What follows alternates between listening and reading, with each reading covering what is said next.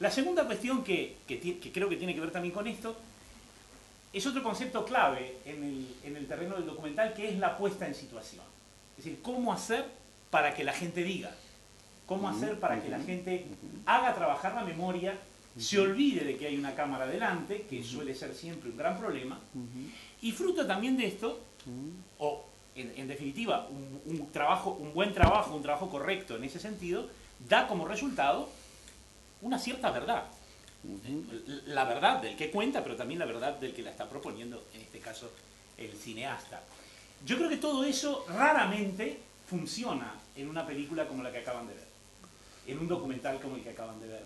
Y digo raramente porque, insisto, uno de los grandes problemas del documental generalmente suele ser la reconstrucción, uno de los grandes problemas del documental es el lograr que los personajes se sientan suficientemente libres y suficientemente despojados como para abrirse eh, al, al, entrevistador o abrirse a la persona que los está interrogando para contar su verdad. Hay además otra cosa que a mí me gusta mucho del documental, que me gustó mucho la primera vez que lo vi, que me volvió a gustar mucho ahora.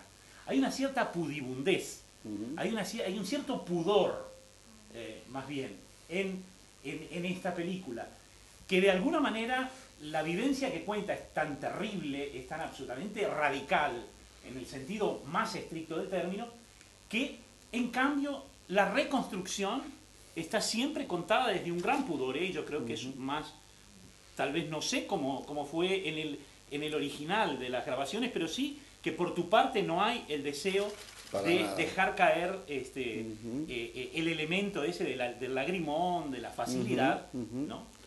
Este, no sé, me parece que... No, no, me interesa mucho, me parece, como no. Este, a ver, con respecto al tema de las... Este, que se pueda llamar reconstrucción, de las reconstrucciones, digamos, yo tuve la suerte de, yo sentí siempre en este trabajo la necesidad de producir imágenes que para mí no son reconstrucciones, aunque, aunque este, son cuestión de... Es, es más bien como, a ver, cómo eh, generar imágenes que puedan asimilarse a, por un lado, este, mm, como fragmentos de memoria, ¿no? Además, este, toda esa, toda esa, mm, esa, esa opción eh, sobreexpuesta, blanca, trabajar con los, con los principios de los rollos, que tiene algo de como fragmentos de memoria y también como si hubiera habido un, sobreviviente con una pequeña Super 8 allá arriba, ¿no?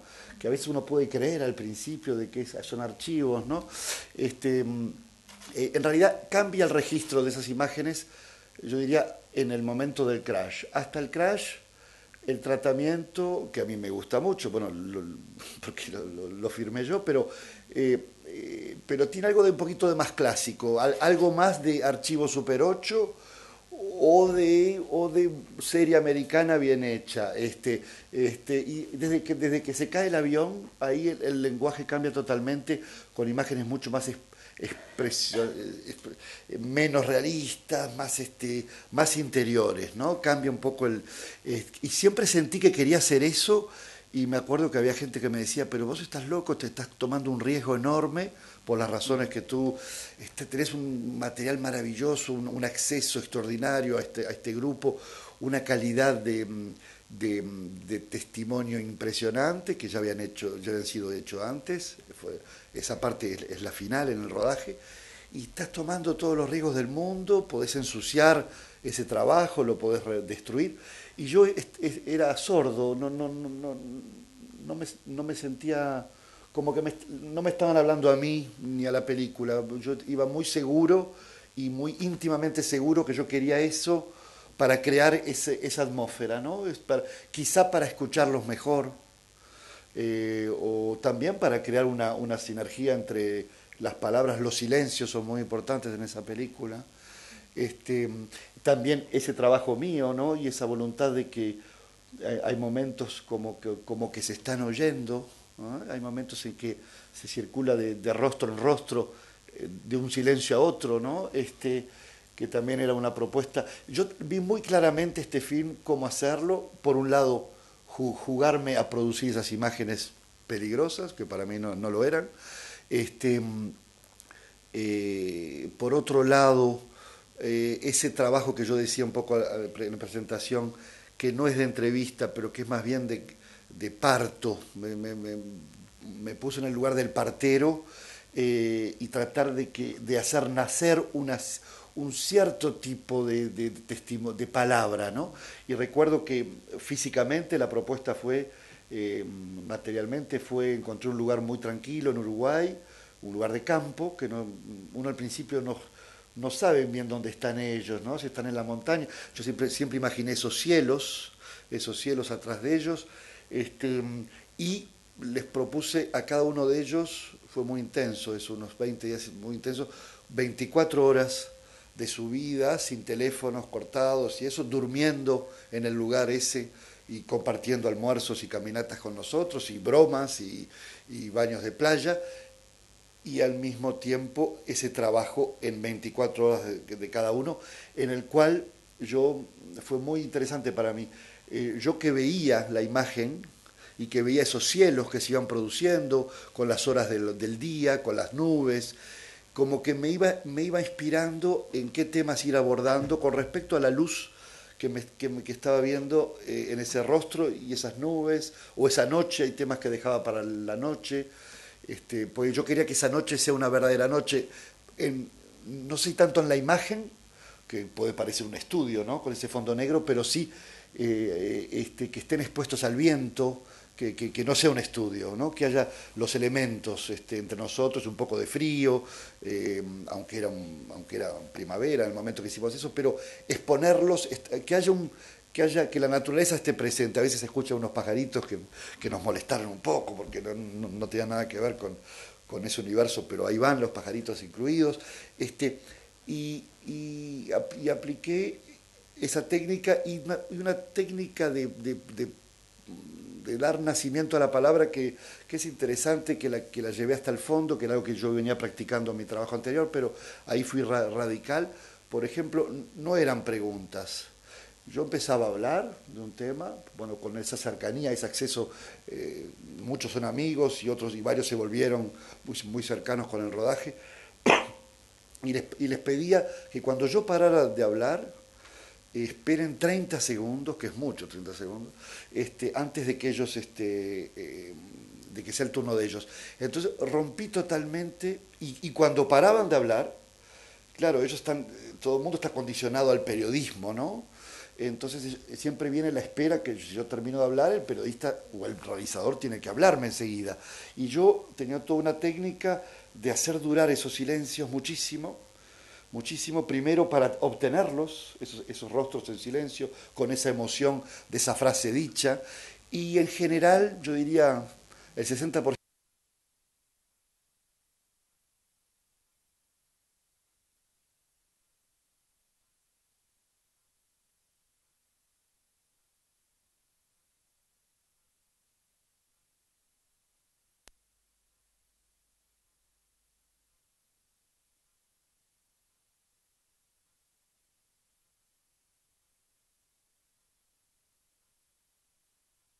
a mi, a, mi sugestión. ¿no? Entonces yo diría que vale la pena porque el resultado fue muy, muy, muy la producción de esa producción de palabra, esa calidad de producción de palabra este, estaba regida bajo, esos, ese sistema. Em, y, y, qué más? Mucho más diría, pero después está ese viaje que lógicamente yo quise ese viaje al lugar que ellos este, están haciendo. Claro, durante 30 años ese lugar fue el lugar más odiado del mundo, de alguna manera por ellos, ¿no? Eh, que a nadie, salvo Nando Parrado, que tiene a su madre y a su hermana arriba, en la, en la tumba colectiva que vemos al final, él iba todos los años y él, como es un monstruo, es un tipo totalmente excepcional, lo probó eh, saliendo de ahí, pero eh, y lo probó después también. Iba todos los años, es por el lado argentino que se va, eh, justo al final del verano, el momento, sí, tipo marzo, está invertido allá, ¿no? El momento del deshielo más, grande. Este, y él al principio iba caminando, caminando es una semanita, un viaje, y después se empezó a hacer a caballo y nosotros lo hicimos a caballo, que son dos días impresionantes, este, eh, salvo él que iba, nadie más quería ir. Y con los años eh, los sobrevivientes empezaron a sentir las ganas de acercarse a su lugar, ¿no? Que puede parecer muy, bueno, claro, está la tumba, pero también está esa nostalgia de la cual ellos hablan un poco al final, puede parecer completamente eh, extraña, ¿no? Eh, mismo el momento que el helicóptero los arrancaba, los arrancaba de un mundo que sabían que, que no lo iban a, reconstruir más, un mundo terrible, pero, pero con, con, cosas que, que, es muy difícil reencontrar en la, en, en, en la vida urbana, ¿no? Este, bueno, y con esos elementos eh, construí este, este relato. ¿no? Hay una, hay una opción previa que me parece muy inteligente por tu parte, que es evitar la, la entrevista colectiva. Es decir, centrarte en lo individual para que, de supongo, me imagino que debe ser para que el recuerdo no se contamine con el recuerdo de los otros. Claro, hay una sola secuencia en el cual, a propósito, cuando ellos se sientan cuando bajan con unas cuerdas y se sientan, ahí está, que ahí quise experimentar una secuencia de a cuatro, en el cual circula la palabra un poco, pero que e, es, excepcional. Y el, resto del, del, filme está hecho como tú decís, que cada uno en su, en su universo. Eh, un trabajo de edición muy grande para lograr esa voz coral, ¿no? Que se logró, yo creo, este, en todo caso hicimos mucho para, ¿no? hay frases que son frases que son completadas, ¿no? hay, ideas como que se desarrollan con tres o cuatro este, personajes, es muy interesante lograr eso. En el alud también, ¿no? En la avalancha como que hay un momento... Por ejemplo, la avalancha es muy interesante, la avalancha tengo para hacer una película entera sobre la, avalancha, ¿no? Eh, relatos extraordinarios. Y yo elegí de todas esas posibilidades, elegí, ya lo sentía en el rodaje, pero fui trabajando eso, y al final casi solamente esa especie de, mm, de, viaje hacia la muerte, ¿no? Este, que tres, tres de ellos vivieron muy intensamente. Y no todo el resto, hay mucho más que decir de, esa avalancha. Entonces, efectivamente... cada uno la vivió de una manera Ahí está, pero me interesó esos tres que vivieron ese viaje, ese momento casi de placidez o de, o de, o de, felicidad yéndose de la vida y cómo fueron tirados abajo a, este, a, volver a esa tragedia horrible, ¿no? Eh, mojados, la nieve. Este, eh, y efectivamente ahí fui y tuve muchos momentos como hubo una gran cercanía, ¿no? Este, en el momento del rodaje hubo muchas cosas. Eh, la gran fuerza que tienen ellos es que no hay, es que no tienen ningún secreto, es decir, que ahí está todo. Eh, ellos por eso, andan, por eso duermen bien o tratan de dormir bien. Eh, al principio se decía lo que no sabemos que pasó arriba, bueno, pasó eso. Entonces ellos no tienen que estar este, cuidando, claro, tienen que estar cuidando algunas cositas que están muy bien, el pacto que hicieron ellos de que nunca, nunca comunicar qué cuerpos fueron utilizados y cuáles no. Y yo tuve, tuve confrontado esas cosas, por ejemplo, dos de ellos, en el calor, digamos, del trabajo, me dijeron así muy, muy este, sencillamente cuál fue el primer cuerpo. Y después yo me dije, bueno, esto, esto no, no, no hay el menor interés en comunicar esto. Me lo dijeron en el calor de la cuestión, como le hablan a un amigo, pero este yo me dije que hubiera hecho este, un canal más este, ¿no? este, con, esa, con esas bombas, ¿no? los, diarios chilenos. ahí está. Este, de, todas maneras, eh, la, entrevista individual y sobre todo la manera de montarlo después, tu trabajo, también deja un poco ciertas... Deja zonas de, deja zonas, de, oscuridad, totalmente. El, tipo este que duerme al final, que apenas sale. Sí, eh, sí. Hay, hay, personajes que no tienen... Es cierto. ¿Es por, un, es por un problema de discurso? A ver, de capacidad de muy interesante, sí. Es un problema de, A ver, primero que 16 eh, characters, como dicen los americanos, en una peli es casi una ecuación imposible, ¿no? Son demasiados eh, en términos narrativos de, dramaturgia. Yo insistí a muerte en que estén los 16. Mis productores decían, ¿te parece? ¿Te parece, primero, que no están de acuerdo? Primero, que es una pelea infernal y segundo, que vas a hacer con los 16? Bueno, ahí fui, me parecía que era fundamental. Ahora, hay dos de ellos, tres diría, tres, que, me, que eran de los, los, más reticentes a hablar, que, y que por problemas de discurso, es decir, por la manera, no logré, vamos a decir que, es mi trabajo, ¿no? No logré ponerlos, porque a los otros 13 logré ponerlos cada uno en su universo, pero en una música, en una musicalidad que funcionaba coralmente. Y estos otros tres, por razones diferentes, algunas por maneras de hablar muy anecdóticas, muy alargadas, que no iban con el ritmo del barco general, del Titanic este. Em, eh, otro que estaba muy nervioso, porque tiene un par de tiene problemas mucho con, con, con, esa historia, muy nervioso y que en realidad dice una frase. Em, y este personaje del final, este gordito eh, maravilloso, eh, que él es una peli sola, pero no, no funcionaba muy bien. Es, muy interesante ese personaje que no logro tratar bien porque no, no puedo con todo, ¿no? Este, ese personaje, eh, Bobby François, el gordito, que él, pequeña anécdota, pero vale la pena, él enseguida entró en una depresión muy grande, se puso en el final del avión, se, se echó a dormir, dijo, yo aquí no hago nada, no hago ninguna tarea, todo lo esto, esto, esto están armando este tinglado no me interesa, eh, yo no les pido nada, no haré nada y tampoco les pediré nada. O esa situación tan radical, y era muy querido él por el grupo, ¿no? Pues obligó sin querer a que se ocupen de él, porque tú no podés dejar a alguien, que además es cariñoso, es precioso, en ese estado. Entonces le traes de comer, él no pidió nada, no, está, está bien, pero le traes, lo abrigas de noche, en un momento le decían, pero si no ni se tapaba con la, con la pequeña manta. lo, de los pies. Lo de los pies. Eh, eh, bueno, y a mí qué me importa, pero si te van a engrenar. Pues, bueno, pero entonces lo Entonces hay como una, es muy interesante, una dependencia y como una responsabilidad nueva que se crea en los otros de mantenerlo vivo. Eh, y quizá también esa actitud que parece totalmente negativa, radical y eso, bueno, obliga a los otros también a tener también eso que hacer, lo que es bueno, para el grupo, esas responsabilidades son este, dinámicas, ¿no? Es muy interesante, pero es cierto que hay tres personajes que no logra hacerlos vivir, uno me lo reprochó, me dijo que van a pensar mis nietos, porque este es un poco el film testimonial final, ¿no?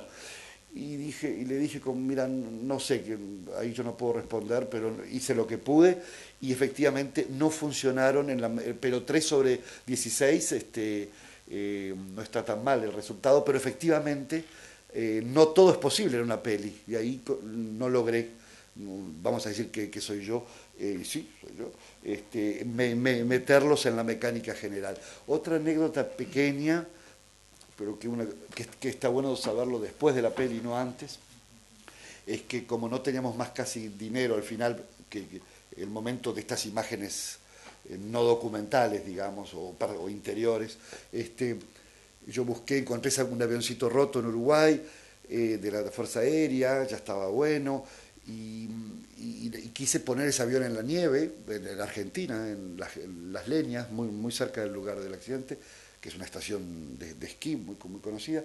Costaba un dineral todo eso, y pasé unos meses buscándole la, solución. Y es cierto que yo sabía que quería hacer imágenes muy expresionistas, muy, muy particulares, pero algo que se parezca a un avión en una especie de nieve me, hacía falta. Y no, y, los números no cerraban. Y una vez hablando con César Charlone, el magnífico fotógrafo que tuve la suerte de... César Charlone, eh, El baño del Papa, que es una película, es un gran director de fotografía, La, Ciudad de Dios, este, nominado al Oscar, y eh, El jardinero fiel, en fin. Sí, y, el Artigas, ¿no? Y el Artigas, el Artigas de ahora, ahí está. Este, y que César es hasta más cercano que yo de la historia porque César iba al mismo colegio, se sentaba, con, se peleaba con Nando Parrado y él tenía que haber tomado ese avión y por eso tenía una novia en, Brasil y se, lo perdió, pero entonces no podían dejar de hacer esa peli y a, qué voy es que un día que yo ya esa ecuación no la lograba, me dijo Gonzalo, somos sudamericanos, tenemos, tenemos la obligación de ser creativos porque no tenemos plata, bueno, ahora, ahora nadie tiene plata, pero digamos que este, este, em, tenés un avión, ya está bien. ponelo donde puedas. Donde pueda, sí, sí, donde puedas. Dado lo que tú quieres hacer, esas cosas tan... Y, y si no lo puedes ni mover, pues donde esté. Y ahí veremos. Yo me acuerdo donde yo dije, donde está, está en un galpón horrible de, la Fuerza Aérea Uruguaya, que no es muy, este, eh, eh, bueno, que no es muy grande, ni muy, este, en fin, el galpón no era muy grande, quiero decir. Y en un momento dije, lo pongo donde puedo. Empecé a buscar este, depósitos de sal en el, en el puerto de Montevideo, poner el avión arriba de una montaña de sal. bueno, veía esas montañas durísimas, que imposible. Este, y se me ocurrió una, una, duna, dije, ¿y una playa, una duna? Y le dije, ¿y una duna es César? Y me dice, ¿una duna? Eh, somos Gardel, es una expresión muy de Uruguay, ¿no? Somos, somos campeones del mundo. Una duna, ¿te parece? Sí, sí, sí, ya, ya, la duna que tú quieras. Y ahí buscando dunas en, Uruguay. Claro, saturó la fotografía. Ahí, claro. Y encontramos una dunita cerca de Montevideo que había que tener cuidado, que llegaba el, caminito para, porque hay que traer el avión y todo y había los pinos y el mar, había que... ahí está, ahí está, ahí está.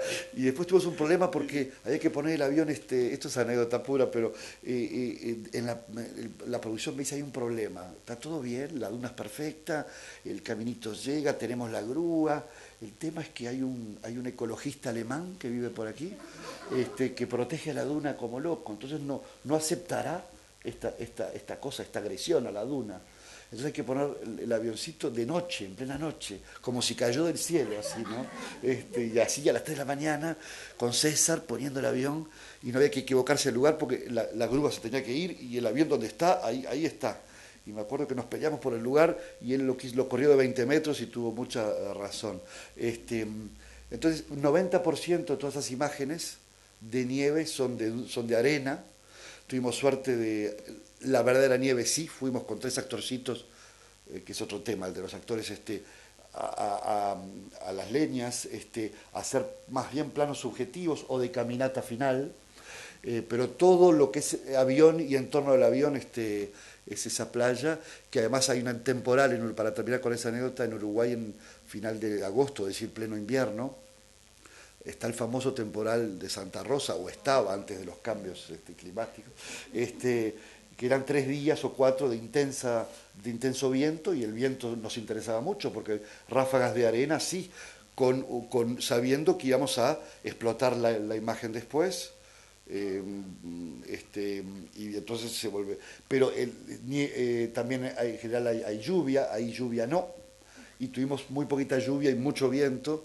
y, la, se lo rompió todo, pero bueno, todo, todo como que fue en el buen sentido. Entonces cuando uno cuenta que eso está hecho en la arena es bastante... Este, pero fue un ambiente muy crudo en la, en la arena. Es decir, había tanto frío y tanta ráfaga de viento que, que nadie se sonreía, nadie parecía que no, no era un chiste esta cuestión, era una cuestión un poquito seria. Y pasó, pasó que los sobrevivientes, yo los invité a que pasaran al rodaje, sobre todo los fines de semana, ellos viven por ahí, bueno, contentos de... Y, me acuerdo que un momento al principio del rodaje estamos haciendo las escenas complicadas, digamos, delicadas del primer corte, el primer cuerpo, esas cosas. Y, había unos sobrevivientes con las, las, mujeres, los hijos, y ellos creían que era, bueno, y cuando hubo la confrontación a ese momento, yo no voy a cambiar la escena, este, y hubo momentos fuertes y, se mantuvieron ahí y, logré lo que está en el bonus de la, del DVD. Em, eh, los hice como, me parecía interesantísimo que ellos eh, entraban en el avión, les daban muchos recuerdos en el avión que yo encontré, este, y estaban los actorcitos estos, que algunos eran hijos de los sobrevivientes, otros iban al mismo colegio, hacían teatro en el, mismo colegio, y había muy poquitos, digamos, profesionales. Eh, y maquillados ¿no? para este trabajo. Y entonces se, integró un diálogo del sobreviviente en el avión roto con estos actores, algo interesantísimo, que lo fuimos filmando mucho, que César me, insistía mucho en integrar ese nivel de relato en el film también, que, era muy atractivo, dije que no, porque, porque ya era suficientemente, porque no, no era la misma música, pero bueno, hay, en, el, en el bonus hay una hora de, de esa experiencia entre sobrevivientes que recuerdan en, un avión roto y unos actorcitos que están haciendo de ellos, que están así impresionadísimos por, por, una transmisión muy linda también. Bueno, por ahí me fui un poco de las ramas, pero, Sí, no, me cuesta parar de, hablar. Que pregunten. Sí, muy bien. Y dialogar con, Sí, con, mucho gusto. si, les nace alguna. Alguna pregunta, alguna crítica, sí. algo. Hola. Sí. Eh, una duda con respecto al proceso de edición. Sí. Si, si los personajes participaron o vieron ya el producto final y tu opinión. No, no participaron para nada, me dieron carta blanca total, fue una edición de un año, casi un año. Eh, un, editor principal, este, Claudio Hughes, hablábamos hoy de él, que, es el, que casualmente es el hijo de Eduardo Gagaliano, de gran escritor, pero que es solo casualidad. Este, y después lo, tuvo un hijo, y hubo tres editores, cansé a tres editores, digamos. Este, no quería despegarme de la peli, me, costó mucho arrancarme de esa sala de edición, me tuvieron que sacar casi a la fuerza. Este, es un trabajo, e, es un trabajo, es, e, es, es inagotable, es una historia, yo me, me, di cuenta que es una historia, eh, es un relato total, como hay pocos eh, como se dice del Ulises de Joyce, como se dice de muy pocas cosas. Un relato que habla de todo. Es una historia completa. Tú la podés ver, pero de mil lados que todavía seguramente no, no las vi yo, que tantos años he pasado con eso, o ellos. Ellos descubren cosas también, mismo viendo la peli. Ay, esto nunca lo había oído, nunca lo había pensado. Ellos mismos. Es este, viendo cuatro frases juntos, o tres, dos testimonios puestos este, em, es inagotable, entonces es rarísimo. Yo creo que se va a convertir en un clásico eh, con el tiempo, eh, que va a ser, yo lo, humildemente lo, revisité, digamos, con esta propuesta, pero ojalá haya muchísimas otras propuestas porque es una historia completamente eh, total. no participaron para nada, tuvieron muy sobrios, había un par de escenas que capaz que ustedes, que, pasan rápido, pero para ellos eran un par de temitas que se los puedo decir, que no, hay problema, el tema de la pasta del... del, del, ¿Quién se comió la pasta? Ahí está, ese tema que está dicho así, ¿no?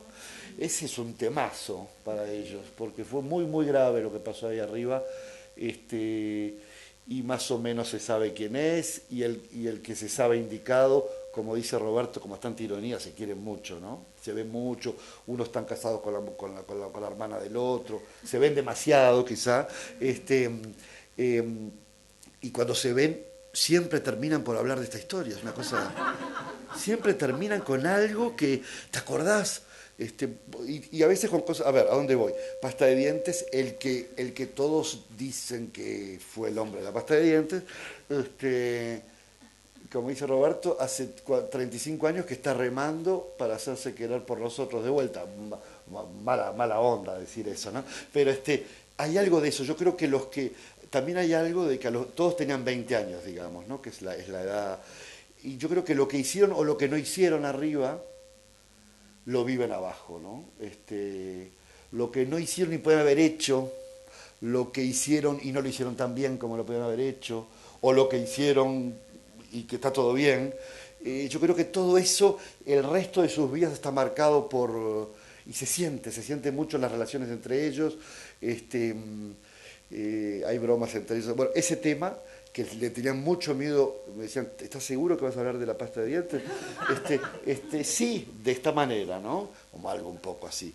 Y el otro tema, que más, más también quizás hasta, hasta más, no sé si más, pero hay un momento justo después de la luz, que es muy elíptico acá, en que se habla de los tres días encerrados, y Roberto Canesa, el de pelo blanco, ¿no? que es muy importante en el film, es el que me inspiró, es mi gran amigo y es el que me inspiró todo este trabajo, em, dice algo un poco abstracto, eh, dice sin decir, eh, la zona de sombra ahí es muy grande, y se está hablando de lo que pasó que ahí me dijeron, ¿estás seguro? ¿Te metes ahí? Que es una cosa que yo descubrí preparando el film y que en esos tres días, con los amigos muertos al lado, calientes, el peor momento de, la historia, el peor de todos, eh, mojados, eh, de noche, tapados de nieve, una cosa... Y, ahí Roberto eh, toma la iniciativa, que puede parecer muy brutal, y para algunos la sigue siendo mismo hoy, de así abrir un cuerpo caliente,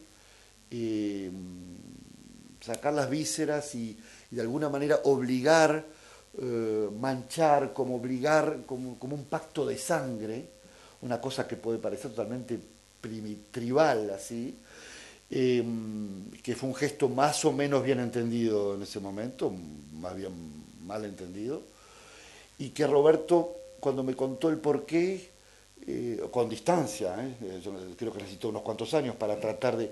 Era un poco, no estamos en el peor momento, no podemos dejarnos llevar por esta avalancha, tenemos que reaccionar y, su, manera de reaccionar es esa cosa, que no, era que tengan hambre, no era que necesiten calorías en ese momento, era una cosa de no dejarse llevar por, la, por, por el destino terrible de tomar la iniciativa, digamos. Bueno, entonces yo lo sugiero, pero me acuerdo que ahí estaban un poquito nerviosos de lo que yo iba a hacer con eso. Y por supuesto, gran nerviosismo en el momento de la proyección como la, como la de hoy, pero con ellos, en Montevideo. No querían que, haya ni, ni proyeccionista. Y por suerte los convencí que las mujeres no, no vengan. No tengo nada contra las mujeres, al contrario de ellos, ni de nadie las quiero mucho, las necesitamos mucho las mujeres, pero no en esos casos, porque ahí la mujer está defendiendo la imagen de su marido, entonces va a tener lecturas que no, que no, no, me parecían que eran las buenas, este, que estás poco, que por qué no aquí, ¿viste? yo tenía miedo un poquito de esas cosas, ellos también, entonces las mujeres no fueron aceptadas, que me pareció muy bien, nadie fue aceptado, salvo los olvidantes, yo y César Charlone y el productor, y, y no había proyeccionista, entonces hubo toda una técnica de lanzar la cuestión, el proyeccionista se fue a tomar un café y ahí hubo, una emoción muy grande eh, y nos abrazamos todos y lloramos todos y, fuimos a... Y bueno, fue un momento muy lindo, fuimos a cenar y ellos son capaces, vale la pena, porque son eh, Gustavo Servino, un hombre que tiene una voz bastante importante en el film, muy amigo también, que tiene mucho humor y a él no le molesta jugar con, es un humor un poco negro, este, que, con la distancia les causa, hacen sus defensas con eso. Entonces, este, mm, eh, fuimos a, me acuerdo a cenar frente al puertito del Museo Montevideo, un lugar muy lindo, y entonces toma la palabra, pide la palabra ese día de la proyección. Y dice, bueno, Gonzalo, por suerte que nos gustó tu trabajo y mucho, porque si no hubiera sido el caso, te comemos aquí mismo y tiramos tus huesitos al agua eso que puede parecer muy chocante está muy bien y hace reír a todo el mundo. Este, es su manera de, es su manera de, este, hay otro que le gusta esas bromas también, pero son un poquito de menos buen gusto, que es este, este Carlitos Páez, el hijo del gran pintor, si algunos, este, este, que me la, contó él, creo, que un día estaba viajando a Buenos Aires, unos años después del coso, él es, un, es, un, es, un, gusto un poquito más diferente esto. Y, este, y viene la zafata, ¿no? Y este, no sé qué, y dicen, bueno, señores, este, algo de cenar. Y dice, sí, ¿no me puede traer la lista de pasajeros? Esas bromas son un poquito más, este, este, eh, pero lo, lo, lo, bueno con esto es que, mm, es que ellos se, se, ríen un poco, se ríen un poco de, tratan, se ríen para no llorar, ¿no? Este, mm, tratan de, tratan de, de sobrellevarlo este, lo mejor posible y a veces con humor. ¿Alguna otra inquietud? Por favor, debe haber, debe haber. Um, sí. Yo no, quería dar ninguna inquietud, quería decirte que esta historia nos marcó la vida, uh se congénere de ellos. ¿no? sí, bastante, pero la mentira.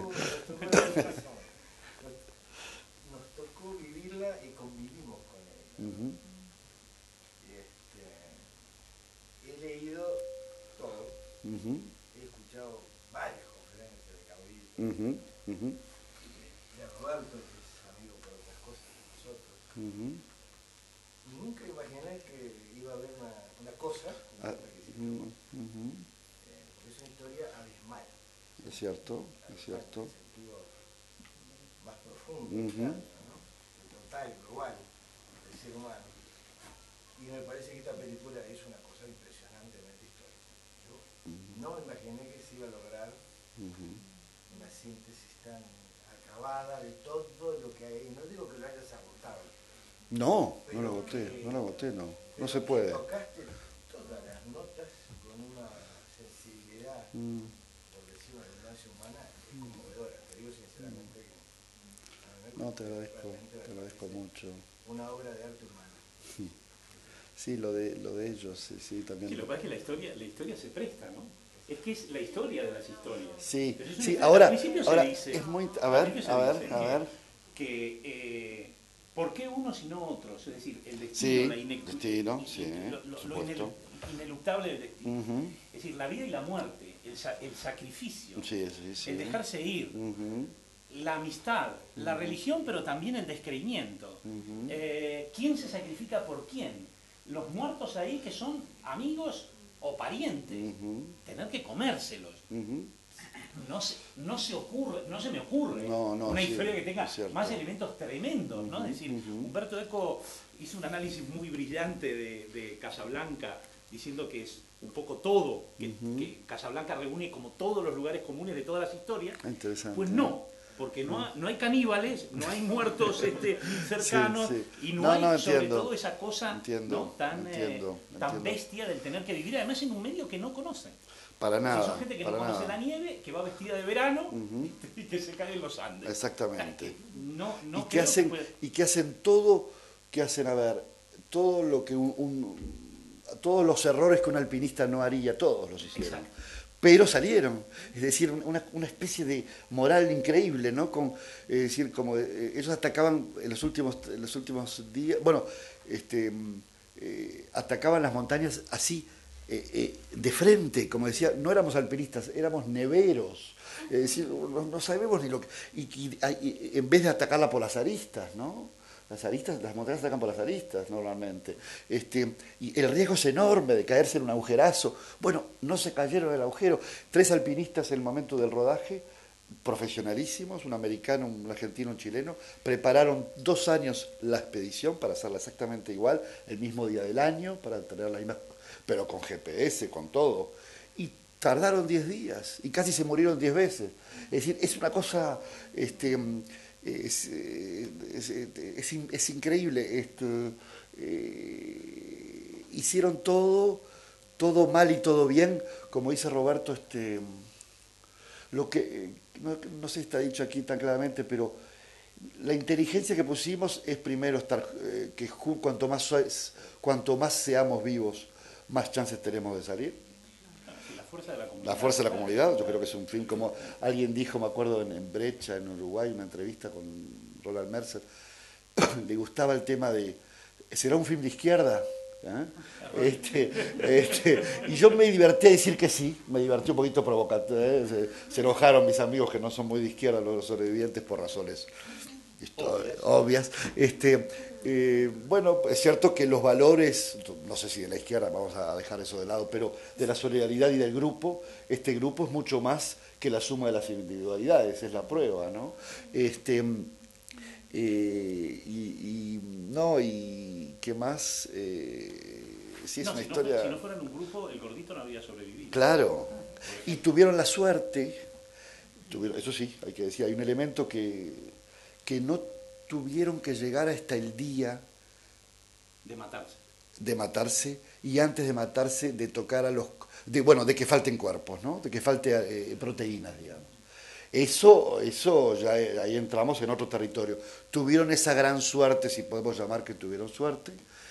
Hablando de eso justamente yo estaba con ellos en el momento del rodaje es decir 30 años después. Um, 30 y algo ahora van a cumplir 40 este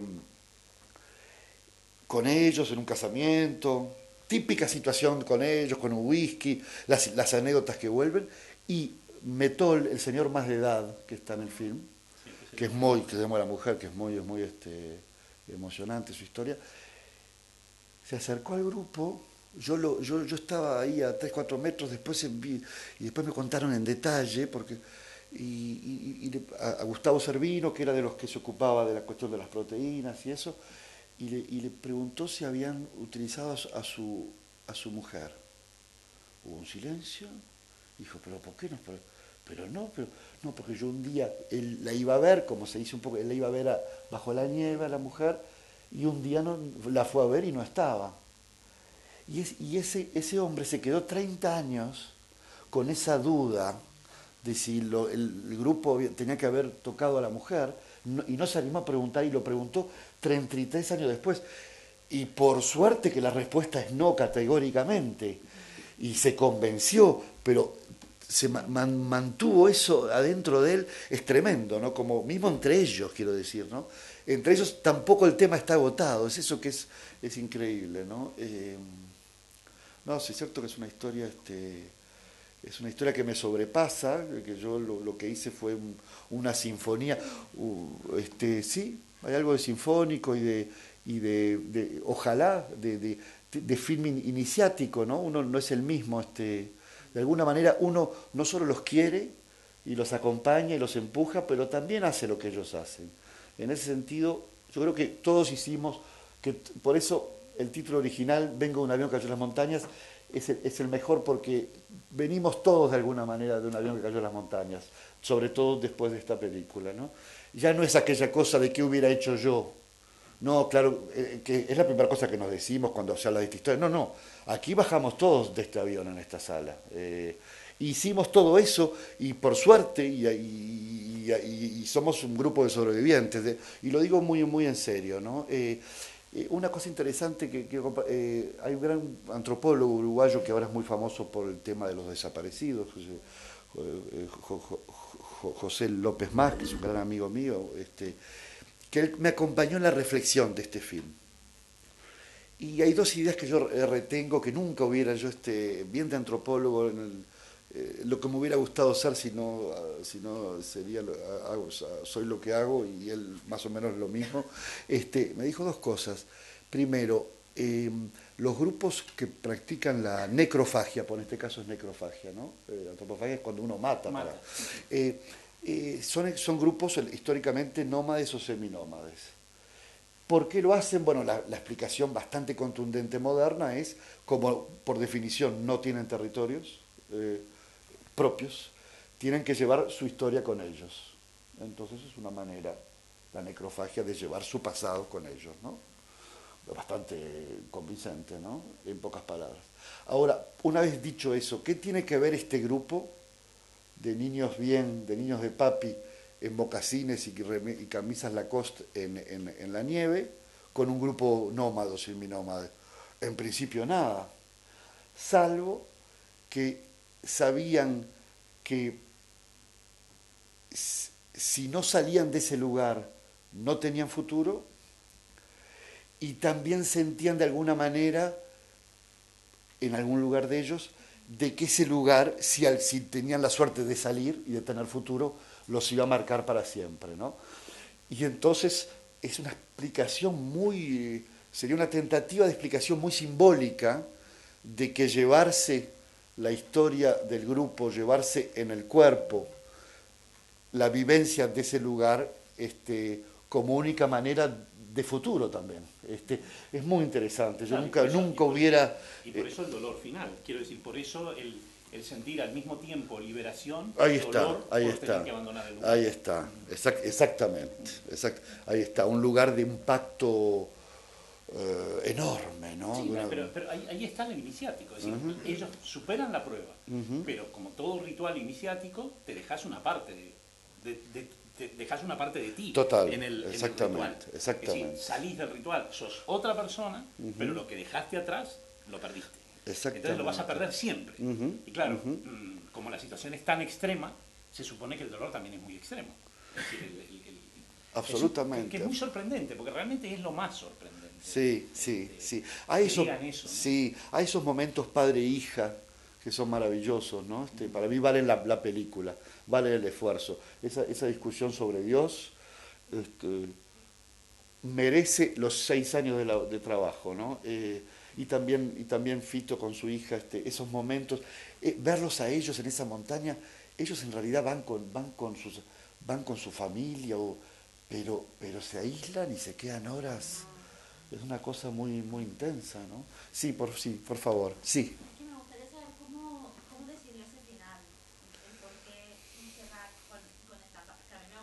Uh -huh, uh. Cali...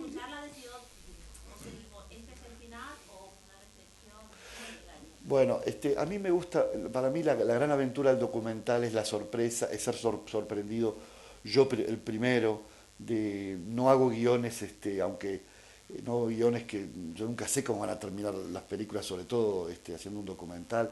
Me gusta que ser sorprendido. Entonces, no, no había un plan. Había efectivamente, yendo al lugar, yo sabía, bueno, yo quería que haya una escena eh, con respecto a la tumba, pero tenía que ver cómo, qué, qué tipo de escena sale naturalmente, ¿viste? Nada de... Y, y bueno, a ver, esa escena de la tumba que es muy fuerte, bueno, cuando se levantó ese viento fue un momento, pero ahí lo sentimos todos. ¿eh? Este, enorme, enorme, enorme. Y bueno, se levantó el viento ahí, y bueno, eh, forma parte de, los milagros. y la cámara estaba ahí. La cámara estaba ahí, y estábamos ahí, y, sí. Este, y después está ese, ese testimonio de Roberto justo atrás, muy íntimo, diciendo cosas muy fuertes, este, de cómo ellos siguen este, presentes, ¿no? Este, mm, Sí, nos susurra al oído, exactamente. Este, que también es un tema, dos cosas, Carlitos Páez, que es el hombre, que es el hijo del pintor, que es un personaje el de los chistes, el de la broma del avión, de este un personaje un poco este, particular, eh, original, digamos, eh, no le gustó ese final. Me lo, fue el único que el, me dice, pero no, pero no, no, no, no, no, no termines ese film en una tumba, hubo mucha alegría, bueno, perdón, es mi película, eh, Pero la, alegría, la, alegría, ya está en el recorrido. Sí. La alegría está en la narración. No, me parece, quizá, bueno, que quizá él no vio suficiente alegría en el film. Quizás no la haya, la palabra es muy fuerte, alegría también, ¿no? Para esto. Pero, em, bueno, fue el único que tuvo un reparo grande, en cuestión de personalidades. Este, y, iba a decir algo más con respecto a ese final. A ese, ahí está. Hubo una charla en el Teatro Solís, después de, que se, estrenó la, película en Uruguay, en el cual eh, era con José López Más, con dos antropólogos, y yo, y, Pablo Bierzi, que hizo el libro inspirado de esta peli, bueno, em, sobre, bueno, una charla un poco más, no sé, académica, pero hablando de temas así más, este, eh, menos populares o más puntuales. Y entonces yo invité a los sobrevivientes, pero por primera vez, y me causó placer, a sentarse donde están ustedes, no a sentarse como siempre ellos acá, ¿no? Ahí, eh, si quieren estar y formar parte del público, pero vamos a hablar nosotros de lo que pensamos de estas cosas.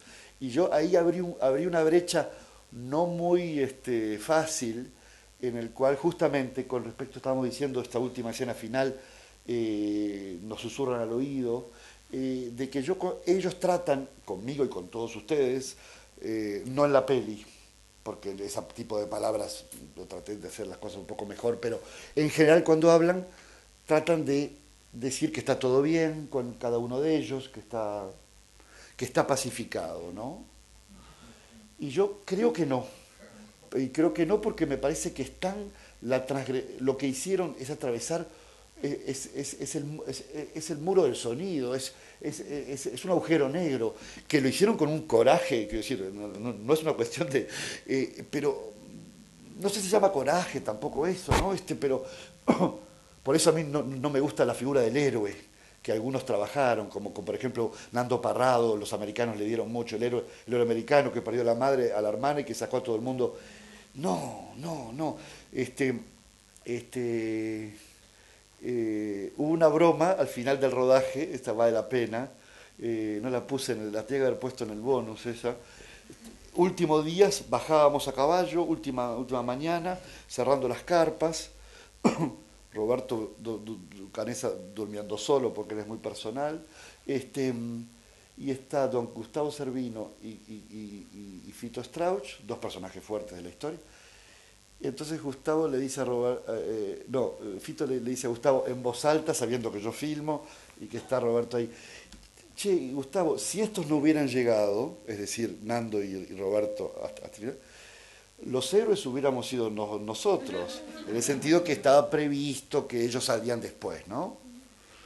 Un poquito provo, esas son historias de entre ellos. Entonces, Roberto, entonces Gustavo, que no le gustó nada, esa broma, dijo, no, no, héroes, no, aquí no hay héroes, héroe es la mujer que se levanta a las 3 de la mañana para, atravesar la ciudad y darle de comer a su hijo, esos son héroes, nosotros somos unos pelotudos que hicimos lo que pudimos, interesante.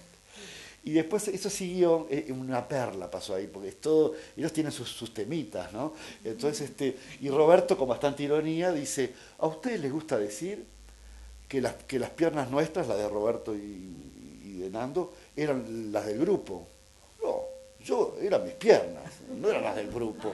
Este, este, ah, que yo caminé por ustedes, para salvarlos a ustedes, sí, puede ser para que mi madre deje de llorar y para ver si lo saco a usted, a esta manga de pelotudos que no caminan. Entonces, está bueno, porque está todo el tema del héroe, está, está planeando, y a veces, a veces también con ironía, porque tienen mucho, entre ellos se, quieren mucho. Nando, que es un personajón, sobre todo en Estados Unidos, que, da charlas. Claro, porque las empresas encontraron un tema maravilloso.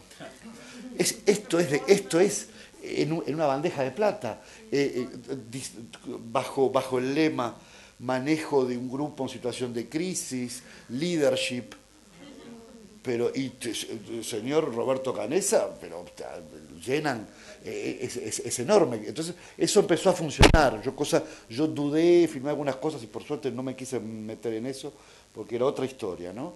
Em, y, Nando tiene un poquito, lo, quiero mucho, está todo bien, pero tiene un poquito el héroe, el tipo que, ¿eh? este, que cobra tanto como, no sé, como Clinton y no sé qué, ¿no? Eh, hay tarifas para todo eso. Este, entonces, este, eh, una vez esas bromitas entre ellos, Gonzalo me dice, Gonzalo, yo te digo una cosa, a veces cuando lo soy, me permito aquí, cuando los, entre amigos, ya me está todo bien, cuando los oigo hablar algunos, yo no estaba en ese avión. Ellos tomaron otro avión. En el sentido, con los años, no es que se maquillen las cosas, bueno, todos, ¿no? La memoria, la cuestión. Pero no es tanto el maquillaje, es, la, es el protagonismo, ¿no? Eh, personalidades que según algunos eran muy, muy bajas, muy poco desarrolladas, que hicieron muy poca cosa arriba, hoy tiene un discurso y hay un poquito, alguna, yo tuve algún reproche, por ejemplo, este Moncho, que es el, uno medio negrito, medio feito, medio, medio como un monito, este, eh, él habla muy bien, pero Moncho no hizo gran cosa. ¿Qué, es hacer o no hacer? Todo se discute, ¿no? Este, Moncho hizo una cosa que no, que no está acá, que no, que no pude con todo, en que él se con los, con los cuerpos, con los muertos, con los nuevos muertos, él esperaba, esas son las cosas que me quedaron, esperaba que, estén todos adentro del avión para que nadie lo, vea, y iba y daba una especie de extrema Es, es, enorme, fuertísimo. Y no quería que nadie lo vea para que no lo putearan, por, porque quién te crees o no sé qué. Entonces él hacía eso. desgraciadamente no, no, no entró eso, no me acuerdo por qué. Entonces, entonces, bueno, para muchos Moncho no hizo nada. Bueno, pero son ¿qué es hacer y no, y no hacer? Eh, ahí está todo, ¿no? Es, es, impresionante, es inacabable. No, pero volviendo a, una, a una, la observación esta que te hacía Ronnie Melzer de si eso no una película de izquierda. No, pero sí. es cierto que curiosamente va, es una película antijovesiana, ¿no? Es decir, no es que el hombre es el lobo del hombre. Eh, ah, no, totalmente. Todo lo contrario. Ah, totalmente. Es que justa, y, va en contra de esas utopías negativas, como el Señor de las Moscas, por ejemplo, eh, que en una situación extrema un grupo de chicos reproducen... Ah, eh, es, es, al revés. Al revés. Un grupo de chicos reproduce otra cosa. Otra cosa. Reproduce la comunidad, el sentimiento primitivo. Claro, se supone que un católico igual se siente muy... este involucrado. Involucrado. y, nadie sabe hasta qué punto, pero seguramente muy fuerte, la educación católica del grupo entero. Haya podido ser la que lo sacó. en todo caso fue fundamental, fue este, este aunque también, eh, hablando de eso, me, permito porque vale la pena, este, hubo todas esas discusiones fuertes que un poco están en el film sobre, para pasar, ¿no? Para, pasar la frontera del acto, ¿no? El tema del tema de la de la comunión, fueron temas tratados. Después con los meses, con las semanas, bueno, la comunión quedó bastante atrás, ¿no? Estaban en, estaban en, un sistema en un sistema humano, pero que también tenía algo de, planeta de los simios también, que, no hay mucho aquí, pero que mm, este, pero por, por, por, la, por la situación. Y después bajaron, los bajaron como pedrada, ¿no? Este, y tuvieron y los, los, periodistas, yo creo que estaba es muy fuerte esa primera entrevista con esas preguntas completamente la, pregunta la clave, pregunta clave. ahí está. Y ese silencio y ese silencio cuando uno ve bien ese archivo lo están diciendo.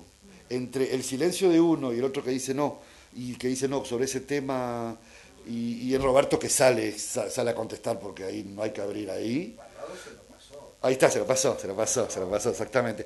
Pero si uno ve el archivo, lo, están diciendo. Claro, el, periodista no, lo puede ver, ¿no? Nosotros tenemos la, distancia, ¿no? Y a ellos les costó, y ellos en todas las entrevistas que dieron esos dos, tres días, cuatro que pasaron en, en Navidad en Santiago, un Santiago de Chile muy convulsionado, con el final de Allende, grupos guerrilleros, este, este, por un lado, este, gran huelga de camiones boicoteando Allende. Este, era muy complejo el momento. y cuando, y cuando los, militares supieron el tema de la comida, dijeron, no, esto no lo dicen acá, esto lo dicen cuando vuelven a su país. Este, este, em, y ellos lo decían, pero el, primer médico que vio a Coche Inciarte, que es un hombre muy campechano, muy este, buen, buen mozón, eh, que, que, a ver, él dice que no hizo nada, pero él hizo reír a todos, era el que metía ambiente, el que y eso vale mucho también arriba, ¿no? Este, vio al primer médico, primer médico ahí en, San Fernando, y, y escultándolo, y de qué comían, y comíamos carne humana, y hubo un silencio. Pero ellos no, no, no, no, no, no querían, venían como de un mundo también muy, este, muy angelical por un lado, muy brutal y muy... Este, entonces, cuando uno ve todos los archivitos, que no use, no, todos, pero todo lo que dijeron, lo que está filmado en Chile, en esa semanita que tuvieron que no esperar para decirlo, lo están diciendo. Lo están diciendo, o con, o con el silencio, o con una sonrisa, o con una frase, pero como que no lo están diciendo claramente, pero lo están diciendo. Cuando llegan a Uruguay y la famosa conferencia de prensa que vemos al final, que ahí era el mundo entero que estaba escuchando, era el centro del mundo, esa, sala, ese momento, que sabían, ya se sabía. Entonces, el, tema era cómo lo iban a decir. Había otro sobreviviente que estaba previsto que dijo que, dijo que, era, que era coche, creo que dijo, este, yo, yo, lo digo, yo, yo tú hablas de esto, tú hablas de esto, tú hablas de esto, y yo me encargo del tema este. Y cuando se sentaron con esos flashes y con, todo, con toda esa prensa mundial enfrente, Coche eh, me lo contó, me dijo, yo no puedo con esto, yo, yo perdón, no puedo. Y este eh, otro eh, que, que, es, que, es, abogado, estoy buscando el nombre, que es de los que muy poquito habla, Delgado, Mario, eh, Pancho Delgado, perdón, gracias. Este, dijo yo, yo lo digo, que él había sido muy low profile allá arriba, de los grandes low profile, dijo yo, yo eso yo lo digo. Y y cuando lo dijo, como lo vimos, ¿no? de una forma tan emotiva, tan fuerte, con la parábola de Cristo y eso, maravilloso, ¿no? Este, por eso él estaba reticente a hablar, hablar en mi peli porque decía, nunca diré algo mejor que lo que dije ese día. Este, eh, pero al mismo tiempo yo descubrí eso, cuando él dijo eso, los compañeros, un poco sorprendidos, ¿en qué sentido? No estaba tan integrado en el grupo el tema de la comunión. Fue tratado en su momento, en el momento que había que tratarlo, y después la vida continuó y fue complicadísima. Entonces, no es que estaban viviendo la comunión en cada bocado de, esa cosa horrible que tenían que comer, y que mismo de alguna manera él rescató con brío una idea que, que existió en la montaña, pero que estaba un poco olvidada entonces, es interesante eso. No era que venían todos convencidos, todos... Eh, eh, todos... hay, uno de ellos que lo dice, además. Eh, uno porque querían volver con el Padre, claro, sirve. Ahí está. Otros por ahí la, está. comunión, también, sirve. Ahí está. El argumento que quieran, ahí está. Tampoco había un punto de vista unánime. Efectivamente. Este, pero es apasionante. Pero todo eso para decir que efectivamente lo, lo, lo católico es, es, es, muy, es muy importante ahí, ¿no? Eh, y, lo de la izquierda, este, parece que hubo discusiones de, políticas arriba también entre dos chicos, sobre todo entre dos discusiones fuertes políticas, este, eh, pero bueno, tenían otro tipo de preocupaciones. Sí, es, que, hay un momento que uno de ellos dice, eh, uno de los que hablan poco, dice, yo no recuerdo que hubieran grandes, grandes charlas, sí, bueno, que bueno, es él, es cosas. él, bueno, sí, sí. Sí, de repente sí. como que, claro, es que era tan apabullante el tener que sobrevivir No, que igual no te daba para andar este, especulando sobre Sí, el mundo, ¿no? sí, Eh, sí, es cierto. Y están los que, los que se sentaban en la nieve con el, con el asientito del avión y pasaban la tarde y al final que el solcito empezaba a pegar más fuerte allá en, en noviembre, ¿no? Diciembre. Y lo cuentan, ¿no? Como que el grupo, ya estaban cansaditos del grupo, era bravo dormir ahí, ¿no? En esa especie de lombriz. Eh, y entonces lo- todo lo que querían era estar tranquis, al sol, con, en momentos muy, muy filosóficos de, de meditación, de meditación y hasta de viajes. Hay dos o tres que me hablaron mucho de eso, ¿no? Este, y casi como en un mundo ideal, es decir, como que de alguna manera no querían que nada cambie. Yo acá estoy bien. No, sí, pa- parece mentira, ¿no? Yo acá estoy bien, están los amigos, estoy, estoy solo, estoy conmigo, estoy como en una limpieza interna. Eh, Algunos vivieron eso así, puede parecer un disparate, pero este, esos helicópteros, claro que fue la mejor noticia de su vida, pero como dice el gordito, no, no, no creo que esté acá, pero dice este, sí, no, no sé, mismo cuando el gordito eh, de la depresión permanente, mismo cuando llegaron los, aeropuertos, los helicópteros, no, no estaba convencido yo de que, te- íbamos a salir. bueno, con los helicópteros, ¿no? Habría que, habría que cambiar de, de opinión. Eh, depresiones muy fuertes, muy fuertes y muy diferentes. ¿no? Es un viaje. Yo siempre digo que si yo hubiera estado en ese avión, de alguna manera este, uno dice que me quise ga- ganar un lugar, aunque parezca raro, hubiera sido de los que, no de los, no de las, eh, no de las figuras claves, pero me hubiera salvado porque tengo suerte, me gusta decir eso, de las discusiones de, de- de boliche, em, eh, pero hubiera sido de, de esos, de esos solcito. Eh, sí, sí, buen tipo, buen tipo, este, que no causó muchos problemas, tampoco hago mucho, bueno, a veces, a veces trabajo mucho, pero este, bueno, ¿Alguna otra pregunta, algún otro comentario? Sí, sí. Una, una pregunta muy corta. El, el error, digamos, de que ellos, ellos estaban en Argentina sí. y estaban a pocos días de Argentina. El error fue de... de- Sí, sí. A ver, a ver, eh, rápidamente, porque es un tema gran, grande ese. Efectivamente, el piloto, el piloto, las últimas palabras del piloto fueron, pasamos Curicó, Curicó ya es Chile, después de la cordillera, ya es en el valle. Entonces, bueno, eh, todo el mundo escuchó eso, ¿no? Luego corto. Entonces, bueno, pero qué, qué raro, además qué raro, decían ellos, con toda la lógica, que, al oeste, es decir, Chile, es la montaña más grande, y como que hacia el este, que debería ser el centro de la cordillera, eh, como que baja. Bueno, de- debe ser la última montaña, y después del otro lado el Valle Verde, las casitas con las chimeneas, ¿no? Todo el sueño, ¿no?